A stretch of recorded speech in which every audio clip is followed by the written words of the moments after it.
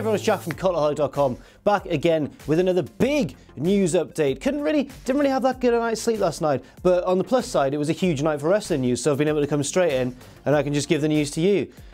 And I'm probably going to have a nap. I'm really, really struggling today, but there is big news concerning both WrestleMania, a couple of matches have been confirmed for that, and also the mysterious, elusive venue for the All In show, the self financed show organised by Cody Rhodes and the Young Bucks, has been revealed. Let's get straight into it. Let's look at all of the exciting news from the world of wrestling. First, let's start off with that big WrestleMania news. Now, one of the matches that's been confirmed on last night's Raw uh, has been in the works for a few months, a few weeks. It's been doing the rounds on social media. Everyone's been speculating. Dave Meltzer's been speculating. And the, the whole speculation was that Ronda Rousey was going to have a mixed tag match against Stephanie and Triple H. And the whole question was who's going to be her uh, who's going to be a partner.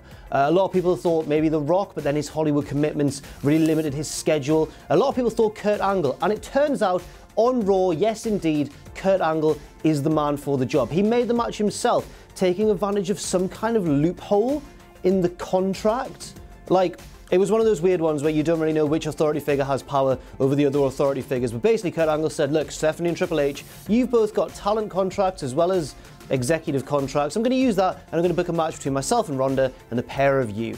Um, now, obviously, it's not the best match in terms of sheer work rate. It's not got an AJ Styles in there. And even though Triple H and Kurt Angle, especially Angle, are some of the best wrestlers that we've ever seen, I reckon, you know, they're getting on quite a bit. They're probably not going to be quite as good as they were a few years ago. But on the other hand, they know how to tell a story. And Stephanie McMahon as well knows how to tell a story. Her wrestling matches have often exceeded expectations by a long way just because of, I guess, because she's got sports entertainment in her blood. Ronda Rousey, of course, very, very inexperienced indeed, but she's a natural athlete, and hopefully, with the right sort of planning and the right sort of spots, she can be, her weaknesses can be hidden, and she can be made to look like a beast. So I'm quite excited for that one. I'm pretty happy. Just a bit dodgy the way it came about in terms of the storytelling, but we'll let that one pass for now. In other WrestleMania 34 news, an Intercontinental Championship match for The Miz has been confirmed. That will feature The Miz versus Seth Rollins versus Finn Balor. Balor and Rollins and Miz, to be honest,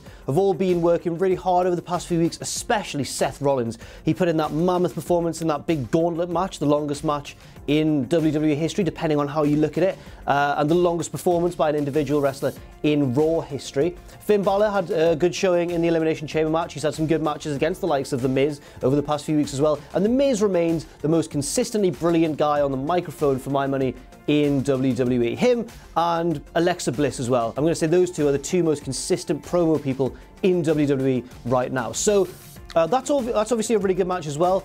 Rollins and Balor, two of the best wrestlers in the world. The Miz, not as all out an in ring worker, but one of the most charismatic and one of the purest heels in the business today. So that's another really good match. It just seems a bit strange to stack the deck against the heel when you know it made more sense to have a babyface fighting against a, a, triple threat match against two heels. But we'll see how it goes, and I'm sure that match will certainly find a nice little spot on the WrestleMania card where it can impress everyone and maybe give them a tiny breather between some of the bigger marquee matches as well. And now it's time to look at that all in news. Now, this is pretty big. Like last night, as I said, I couldn't really get a lot of sleep. I was about to try and get some shut eye, and then I saw a tweet from Dave Meltzer, who got involved in the promotion of this show, and said, Look, if you're a fan of the Bullet Club, you might want to wait 50 minutes. So I stayed up for 50 minutes. Still, there was nothing. Then Meltzer tweeted again. He said, Might be a little bit longer than 50 minutes. I was like, Dave, you're really, you're really not doing me very well here. I'm having a bad old time. But then it was all worth it because the next episode of Being the Elite was dropped. Uh, obviously, as per usual, it featured Cody and the Young Bucks and various members of the Bullet Club, not including Kenny Omega, of course, because he's been ousted and there's this whole feud, or he's not been ousted, but it's all, there's a battle for leadership. But Cody and the Young Bucks were about to announce the venue for their All In show on September 1st.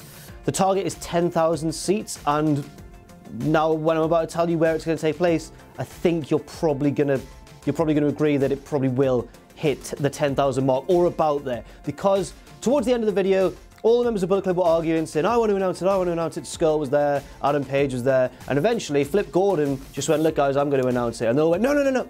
It cut to Stephen Amell, who is, of course, a friend of Cody and a co star of his on Arrow, the series. Um, he announced that it's going to take place in Chicago, Illinois. And as far as towns go in the United States, few are as wrestly, if that's a term, as Chicago. Now, strictly speaking, it's not in Chicago itself. I think it's taking place in a suburb north of the, the city itself, about 25 miles north, but it's in a venue which holds 11,000 seats, which is enough to hit that 10,000 seat target that Cody's kind of given to himself. Um, it's tremendously exciting, and it's only going to fuel speculation that CM Punk is in that damn bear costume. Barry, the drug free bear, who's become like Cody's mascot in the Bullet Club. Um, I don't think, you know, they're obviously going to have a lot of fun with it and tease that it is Punk. I, I don't, I don't want to suggest that I think Punk's going to wrestle on the show because it's a massive call. And obviously, there's all those rumours that he wants another UFC fight and may well get one. Um, that would obviously take a lot of preparation, and he wouldn't really have time to come back to wrestling. Surely, he wouldn't want to risk it. But maybe he'd appear in some capacity. Maybe he would be in the bear costume. Maybe he'd just turn up and do a run in or something. It would be one of the biggest pops and one of the biggest stories of the decade in wrestling. And I really want it to happen. But again, there's no guarantee. But then anyway, the new the story there is that All In is taking place in Illinois on September the 1st. Not in Chicago itself, but they're going to bill it as Chicago. But about 25 miles outside of the city. That's all for now. I hope you've enjoyed this news update. It's been a big one. It's been a big night last night for professional wrestling. Lots of big stories going on. Um, I've been Jack from Cultaholic.com. You can follow me on Twitter at Jack the Jobber. You can follow all of us at Cultaholic. And do check out our Patreon as well if you want. Patreon.com forward slash Cultaholic. But the most important thing of all, of course, is to never ever forget to join us.